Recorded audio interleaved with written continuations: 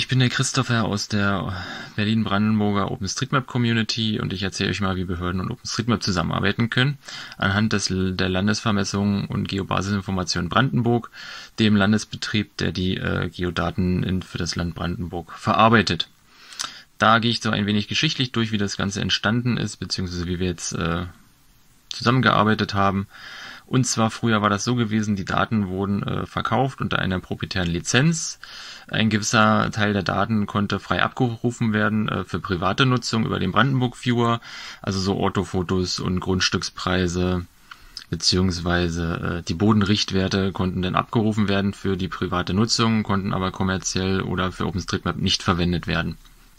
Im Jahr 2019 wurde dann das äh, Brandenburgische Vermessungsgesetz entsprechend angepasst, dass da wurde definiert, dass digitale Informationen kommerziell und nicht kommerziell entgeltfrei zur Verfügung gestellt wurden, werden sollen.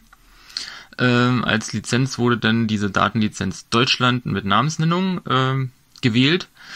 Wir wissen in der OpenStreetMap Community, dass das nicht kompatibel ist mit der ODBL, also der Open, Open Database License, ähm, unter der wir unsere Daten zur Verfügung stellen. Das heißt, wir können die Daten, die von der LGB zu, äh, zur Verfügung gestellt werden, unter der Lizenz nicht eingebunden werden.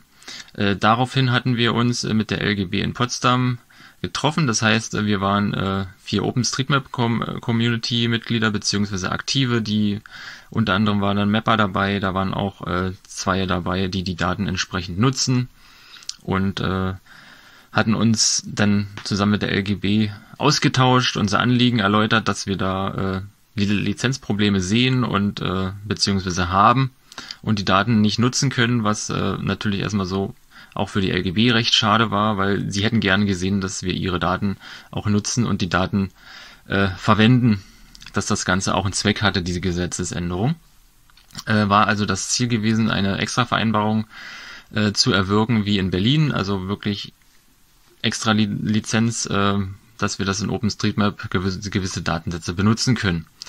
Im April ähm, Wann war es dann endlich soweit? Äh, die Geschäftsbedingungen wurden dann entsprechend veröffentlicht und angepasst und dort wurde dann im Punkt 6.1 definiert, hier habe ich den nochmal dargestellt, dass die Lizenzinformationen nicht in unmittelbar im Zusammenhang mit der Darstellung äh, angebracht werden müssen.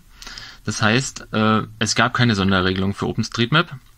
Es war aber soweit äh, sinnvoll und ja anwendbar gewesen, dass wir ähm, die Lizenzinformationen im Detail dann auf dem OpenStreetMap Wiki beziehungsweise die Contributors-Seite anpassen musste nur. Mehr war nicht nötig gewesen. Und dort definiert haben, dass äh, Daten, die von der LGB kommen, unter entsprechender Lizenz, äh, Datenlizenz Deutschland definiert sind und äh, wie gesagt, keine weitere Anpassung ist dann nötig, wenn jetzt äh, neue Datensätze entstehen oder sonstiges.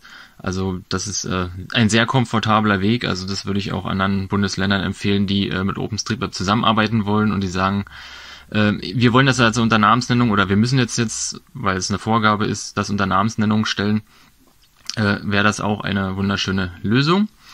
Ähm, die Landesvermessung äh, hat ungefähr 300 Datensätze. Für uns relevant sind hier unter anderem 3D-Daten, die ALKIS-Daten, Adressdaten und Orthofotos. Äh, wie nutzen wir das Ganze? Also wir hatten uns auch in dem Gespräch geeinigt, dass wir die Daten nicht eins zu eins äh, der LGB übernehmen, weil auch ein gewisses äh, Maß an Qualitätssicherung ja da sein soll. Also wir unsere Daten überprüfen, beziehungsweise dabei vielleicht Fehler äh, bei der LGB äh, auffindbar sind dadurch.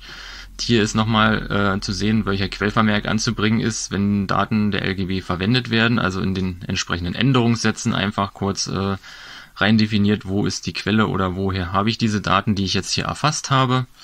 Die Orthofotos sind in ID und JOSM schon drin, also die kann man dort ohne Probleme verwenden. Genau so ein bisschen zum Ausblick oder in die Zukunft. Also wenn jetzt wieder pandemiebedingt das möglich sein sollte, äh, würden wir uns gerne mal wieder treffen zu Hack-Weekends oder zu einen Workshops, dass wir uns mal gegenseitig austauschen, äh, die LGB OSM kennenlernen und die OpenStreetMap-Community die LGB so ein wenig. Das ist gar nicht verkehrt. Dass man wirklich mal so einen Blick über den Tellerrand hat und nicht nur in seiner eigenen Welt lebt. Ähm, dann äh, gibt es noch ein Geomerker, das ist ein Fehlermeldeportal bei der LGB. Das wird auch von anderen OpenStreetMap-Nutzern verwendet, um der LGB mitzuteilen, oh, hier ist ein Fehler im Straßenname oder hier ist ein neues Gebäude oder die Ausmaße der Gebäude sind ganz anders oder es existiert nicht mehr. Das kann von jedem Nutzer gemeldet werden. Also da äh, kann man auch wieder Feedback an die LGB zurückgeben.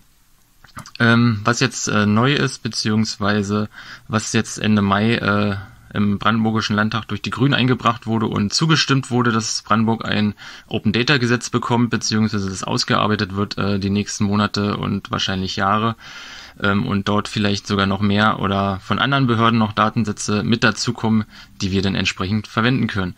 Damit bedanke ich mich und äh, freue mich, äh, wie gesagt, auf gegebenenfalls Fragen, beziehungsweise bedanke mich auch bei der LGB für die nette Zusammenarbeit.